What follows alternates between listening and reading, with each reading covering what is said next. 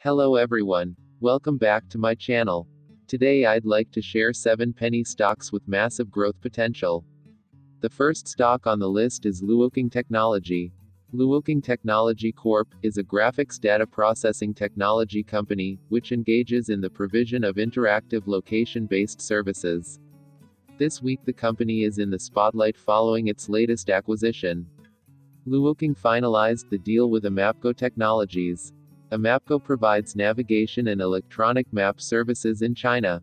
In response to the news, Xuesong Song, chairman and CEO of Luokung, stated, this is a significant milestone in the company's history as we have created one company with technologies and a product portfolio that will provide us with a clear competitive advantage in the fields of autonomous driving, smart electric vehicles, intelligent transportation, and smart cities, enabling us to accelerate our development in this industry while being accretive to Luokung's financials. With a diverse portfolio of offerings centered on emerging tech, LKCO could be one of the names to know heading into the second quarter. The second stock on the list is Diffusion Pharmaceuticals. Diffusion Pharmaceuticals Inc., a clinical stage biotechnology company, develops treatments for life threatening medical conditions. Much of the attention this week has centered around Diffusion's latest earnings report. Diffusion had $18.5 million in cash and cash equivalents as of December 31, 2020.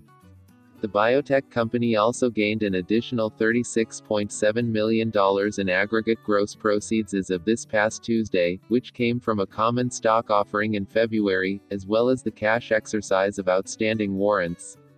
President and CEO of Diffusion, Robert Cobuzzi said, the momentum we gained exiting 2020 has continued into 2021.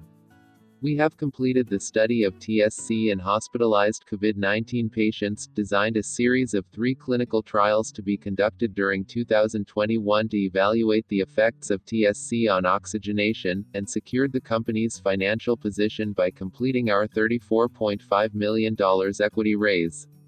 The next stock on the list is Aeterna Zentaris.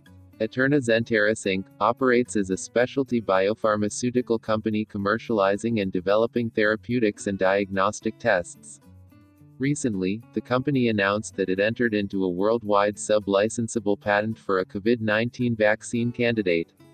Dr. Klaus Paulini, CEO of Aeterna, states that over the last months, we learned that the original SARS-CoV-2 strain mutates rapidly, and these mutant strains continue to spread throughout the population.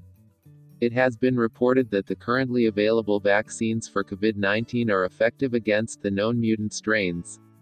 However, we believe there is the potential to develop an improved vaccine which relies on several SARS-CoV-2 antigens in parallel with the goal of improving the immune response against mutated viruses. Also, the company states that this vaccine candidate could be a more effective product than existing ones. Also, this substance does not need to be refrigerated at similar temperatures as currently approved vaccines. This means that the logistical issues we're running into right now could be avoided. Aeterna's current leading product candidate is Macimorelin. This is the only FDA and European Commission approved oral test for identifying adult growth hormone deficiency. With its promising pipeline in mind, AEZS could be another penny stock to watch. The next stock on the list is InspireMD. Inspire MD Inc. is a medical device company, which engages in the development and commercialization of the stent platform technology for the treatment of complex vascular and coronary disease. This month attention has focused on the company after it released its fourth quarter and full year financial results. While its revenues decreased, its cash position greatly improved after an $11.5 million public offering in mid 2020 and the recent underwritten public offering in February. Traders may be focusing on the company's clinical trial for its CGuard carotid stent system in the U.S. Back in February, InspireMD engaged Hart Clinical Consultants. They are a contract research organization and will conduct the trial. This is the first US-based study of CGuard and could demonstrate its potential to prevent stroke caused by carotid artery disease. Now the market awaits any further updates on this. The next stock on the list is MICT. MICT Inc. engages in the design, development, manufacture, and sale of rugged mobile computing devices. It provides computer based systems of mobile resource management for fleet management markets. On March 4, MICT announced the closing of a $54 million registered direct offering. The offering is for 19,285,715 shares of common stock and 19,285,715 warrants to purchase the same amount of shares at $2.80. After this announcement, MICT stock price increased about 5%. Further to this, MICT's subsidiary Micronet received a commercial order for its SmartCam connected product. It received a purchase order for 2,000 units of the product from one of the largest telematics service providers in the US. This order is worth about $900,000. Darren Mercer, the CEO of MICT, said, Whilst our focus is on the continued development of our three main fintech verticals, we are very pleased to see Micronet's ongoing success and progress towards gaining market share in the fast growing video telematics sector, which continues to justify our investment in the company. Since the announcement, MICT stock has increased by about 30%. The next stock on the list is Check-Cap. Check-Cap Limited is a clinical stage medical diagnostics company engaging in the development of ingestible imaging capsule system for colorectal cancer screening. Since the start of the year, Check stock has been one worth watching. Shares have climbed from around 40 cents on December 31st to highs of over $4.40 this month. Even after pulling back over the past few days, Check is still trading over 400% higher than it began the year. This week, Check-Cap made another significant advancement.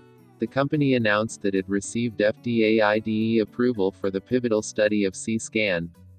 This will allow the company to begin this pivotal study for people at average risk of CRC and are poor candidates for a colonoscopy with an incomplete optical colonoscopy.